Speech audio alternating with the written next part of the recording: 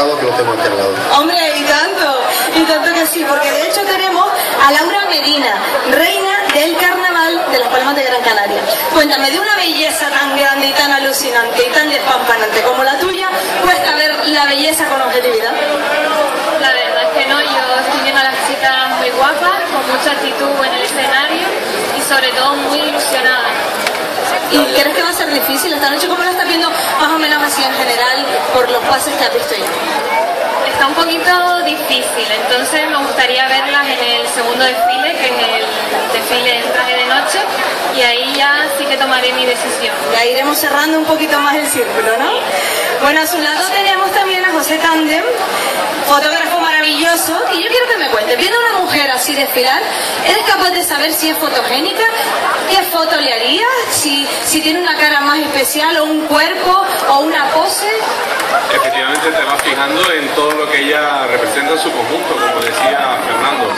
No obstante, sí felicitar hoy a la- al barrio de Ciudad Alta, a la concejalía y a la organización, porque el espectáculo de luces, que es lo que a mí me suele tocar, está verdaderamente bello para fotografiar y ahí están mis compañeros que podrán decirlo. En cuanto a las candidatas, pues sí, efectivamente, el conjunto ya te marca dónde colocarla y qué foto hacer. Y ustedes los fotógrafos son un poco como magos, porque con las luces pueden destrozar la vida de una mujer.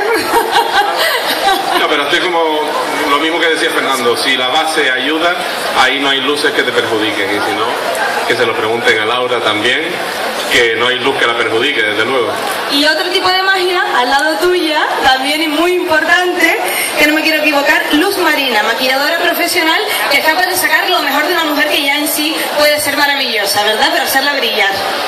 Sí, pero mm, sin duda alguna tiene que tener una buena base para poder mm, con el maquillaje desarrollar esa belleza.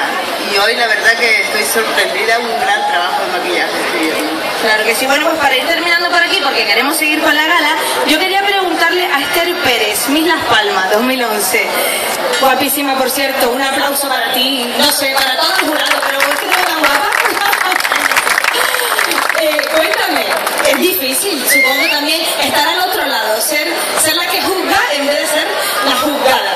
Sí, la verdad que a pesar de la gala que una bebida, todavía me cuesta el tener que decidir yo quizás mi voto.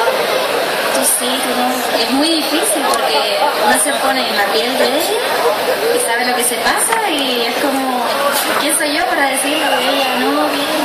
Pero bueno, yo desde aquí les quiero desear mucha suerte, lo están haciendo muy bien y sobre todo que disfruten cuando suban a la pasarela. Y hasta que se olviden lo que es jurado, que disfruten, básicamente. Pues yo le voy a felicitar, aprovecho porque sé que es muy difícil la labor de esta noche.